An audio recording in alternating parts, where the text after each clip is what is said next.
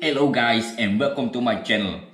First of all, I want to say big thank you to all of you guys that you are really interested in my project. I'm so happy with that. I'm so happy with your comments, with your questions and with your passion.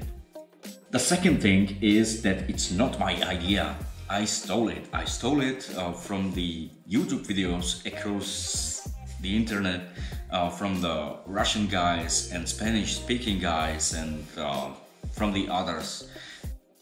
The next thing is that I'm really surprised, surprised with the results that I achieve.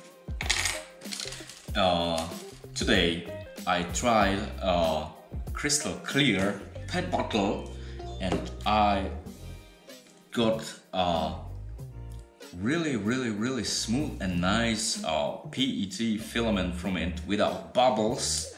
And the result print is is great. It's I'm so happy with that.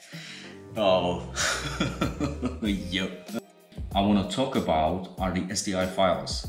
I will make it free from now forever because uh, I love this idea and I don't want to make it too expensive. Uh, it's not the way for me.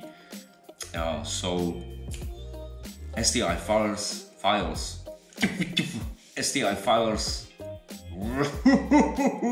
STL files are for free from now.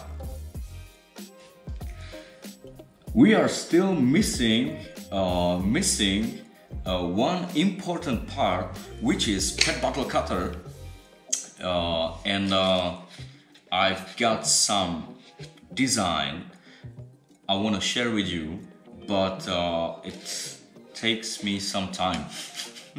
So you have to wait. I hope that you will be able to put all these parts together and make the Petamentor that will be that will works uh, as good as mine.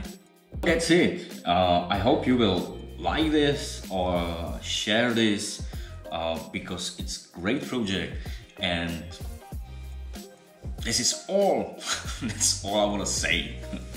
Thank you.